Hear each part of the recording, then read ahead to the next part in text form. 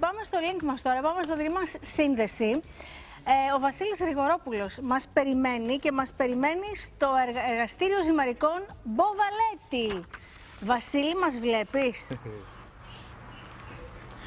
Δεν σας βλέπω, αλήθεια είναι, γιατί ξέρετε, αποφεύγουμε εδώ τα monitor. Δεν Άκουγέ θέλουμε, μας. γιατί προσανατολιζόμαστε και Άκουγέ βοηθάμε μας του μόνο. οπερατέρ. Σας ακούω όμως πάρα πολύ καλά, βέβαια. Έτσι, έτσι, έτσι. Βλέπετε σε τι ωραίο μέρος σήμερα, Ναταλία. Καταρχήν βλέπω μακαρονάδες και αυτό Δύο και μόνο νέα- φου, για μένα είναι αρκετό. δεν υπάρχει, δεν υπάρχει.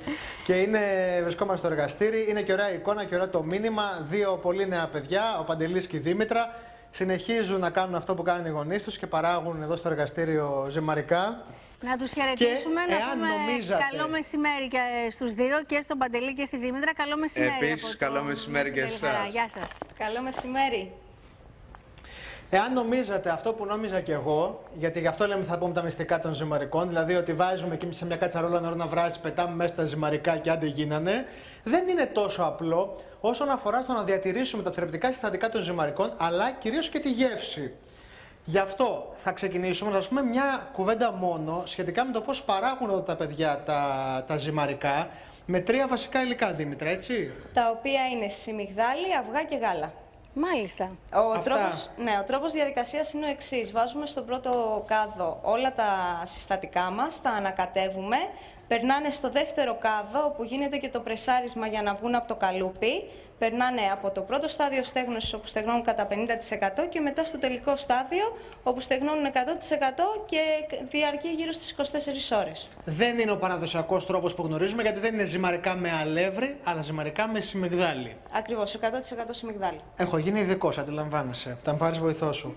Τώρα, να ξεκινήσουμε να πούμε, το κάθε ζυμαρικό έχει το δικό του χρόνο βρασίματος.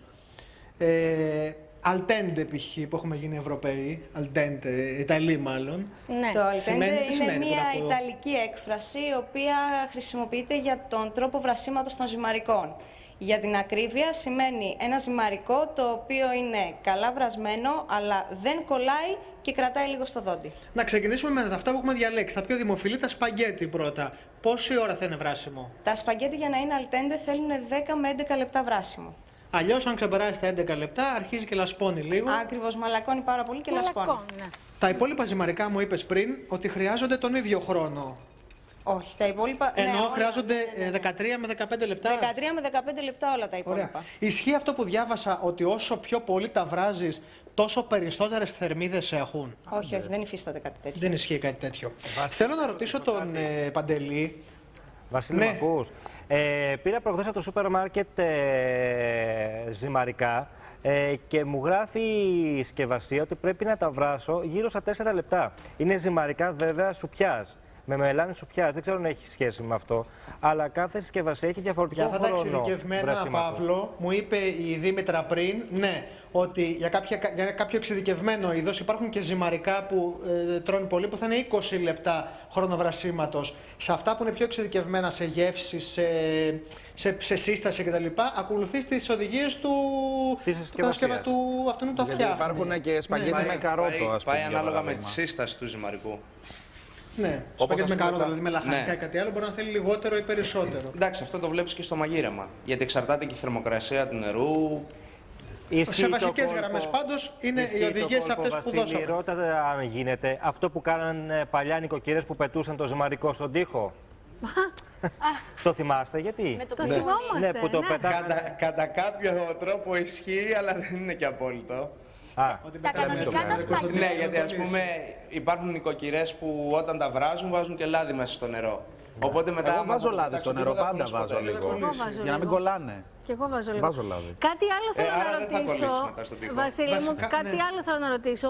Αν το κάθε ζυμαρικό έχει και την δική του σάλτσα που του πηγαίνει, ας πούμε. Δηλαδή, υπάρχουν άλλα ζυμαρικά που θέλουν λευκή σάλτσα, ε, σε άλλα ταιριάζει περισσότερο η κόκκινη σάλτσα ή κάνουμε ό,τι θέλουμε γενικά; Όσο, ναι, όσο και να σας φαίνεται περίεργο, ε, αυτό ισχύει. Και θα σας εξηγήσουμε τώρα, δείχνοντας κάθε είδος τζιμαρικού, ποια είναι η ιδανική σάλτσα. Α, μάλιστα. Ξεκινώντας από τα σπαγγέτι, Παντελή. Το σπαγκέτι πάει κατάλληλα με κοιμά γιατί Όπως γυρνάμε το πυρούνι για να μαζέψουμε το λύγεται- σπαγγέτι, λύγεται καλύτερα ο κοιμά. Οι πένες που βλέπουμε, Οι πένες είναι κατάλληλες για σουφλέ ή για παστίτσιο. Επειδή είναι μεγάλος ζυμαρικό, μπαίνει ο κοιμά μέσα ή το τα τυρί. υλικά. Βέβαια. Ναι. Οι χιλοπίτες, Οι χιλοπίτες και τα λαζάνια είναι καλύτερα συνοδευτικό με κοκκινιστό ή κοτόπουλο κρασάτο και γιατί το σχήμα τους και το μέγεθός τους πολλές Ναι, φορές δεν, επιτρέπει τις Δεν μπορεί άλλες να, φορές. τα ανεβάσει, να ανεβάσεις τη σάλτσα επάνω. Και τα κοχύλια, Τα κοχύλια είναι ιδανικά για κόκκινη σάλτσα, για το λόγο ότι όπως είναι το σχήμα τους μπορεί να μπει μέσα η σάλτσα, οπότε την έχουμε έντονη τη γεύση της. κάποια τα σπάμε πριν τα βράσουμε τα λαχανικά ή δεν χρειάζεται. Τα σπαγγέτι ας πούμε τα σπάμε; Δεν χρειάζεται, μόνο άμα θέλουμε να μειώσουμε το μήκος τους. Αφού τα βράσουμε και τα βάλουμε στο σωρωτήρι, πρέπει να τα βρέξουμε τα μακαρόνια. Γιατί σου λέει κάποιοι τα βρέχουν, ξέρω εγώ, τα πλένουν, το πούμε έτσι εντός εισαγωγικών. Όχι, δεν πρέπει να τα βρέχουμε γιατί έτσι ξεπλένεται όλο το άμυλο και χάνουν τη γεύση τους. Ε, τώρα, όσον αφορά στη συντήρηση των λαχανικών, Των ζυμαρικών. πώς τα συντηρούμε, Δήμητρα, δηλαδή. Των ζυμαρικών, ναι, έχω Ναι. μπερδευτεί, έχω Δεν πάθει. πειράζει, δεν πειράζει. Υπάρχει μπλόκαρα. Λοιπόν, για τη συντήρησή τους θα πρέπει, άμα είναι αφυδατωμένα, να διατηρούνται μέσα στη συσκευασία τους μέχρι τη στιγμή του μαγειρέματος. Αυτά του σούπερ μάρκετ δηλαδή που παίρνουμε ή αν παίρνουμε από πρατήρια όπως το δικό σας, πρέπει να τα αφήνουμε στη συσκευασία που τα έχετε ήδη Ακριβώς. Και ο λόγος είναι για να προστατευτούν από έντομα, από οσμές, από σκόνη, από τέτοιους μικροοργανισμούς. Αφού τα βράσουμε, προφανώς το ψυγείο σε ένα ταπεράκι. Αλλά για πόσε μέρε Αφού τα βράσουμε όταν τελειώσει το γεύμα, τα βάζουμε σε ένα τάπερ και τα συντηρούμε στο ψυγείο για 2-3 μέρες σε θερμοκρασία από 0 έως 5 βαθμούς. Και αν πάρω νοπά ζυμαρικά, γιατί σε πολλά σούπερ μάρκετ έχει νοπά ζυμαρικά στο, στις- στα ψυγεία. Στην κατάψυξη. Κατάψυξε και μετά πώς τα βράζεις; Κατάψυξη, κατευθείαν βράζει το νερό και τα ρίχνουν κατευθείαν μέσα και ο χρόνος βρασίματος βέβαια είναι πολύ μικρότερος γιατί έχει ήδη κρατήσει το ζυμαρικό τα υγρά του. Δεν είναι Πόσο είναι, αφιδατωμένο. κάνα πεντάλεπτο. 4 με 5 λεπτά το πολύ. Αυτά τα βασικά. Δεν ξέρω τι απορίες έχετε. Τα είπαμε λίγο γρήγορα, ελπίζω να τα συγκρατήσατε. Απορίες ε, όχι τόσο όσο όρεξη να τα φάμε όλα αυτά. Αυτό που δεν έχω καταλάβει είναι το κόκκινο ζυμαρικό που έχετε μπροστά σας. Τι είναι με καρότο ή με πατζάρι. Όχι, αυτό, αυτό είναι με πολίτικο μπαχάρι. Με πολίτικο μπαχάρι, ε. Ω, έντονα Έχει μέσα από κείμενο, ολιαστή ντομάτα. Μάλιστα. Πολύ ωραίο. Τώρα θα είμαι πολύ ζήτουλας εγώ, Βασίλη, αν ζητήσω Πολύ, να μας... πολύ θα Πολύ είσαι. θα. Ναι. Πολύ, ε. Σου απαντάω Αφού το εγώ. κάνεις.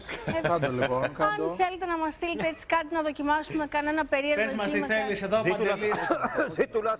Μπολονές. Ό, ό,τι μου πείτε θα σας το στείλω, με μεγάλη μου χαρά. Ε, Ε, κάτι δεν είναι που να ανάγκη. μην Τι θες έχουμε Ναταλία, θες με δοκιμάσει, σπανάκι, έτσι. θέλεις Ναι. με, με, μπα- Η με- Κωνσταντίνα θέλει τορτελίνια. Εγώ θέλω κάτι με σπανάκι που μου αρέσει Και πολύ. εγώ τα κόκκινα. Τα Το κόκκινα θέλω. κοκκινάκι. Ωραία. Με Ό,τι- σπανάκι μπορούμε να στείλουμε, τορτελίνια δεν φτιάχνουμε. Δεν φτιάχνετε. Ωραία. Δυστυχώς. Αχ, ρε Ό,τι Κωνσταντίνα, θέλετε. κάτι άλλο, κάτι από αυτά. Ό,τι Θες ένα ωραίο θέλετε. κοχυλάκι που είναι Πένες, ωραίο, θες ένα... Πένες Πένες, θέλει. πένες. Πένες. Πένες.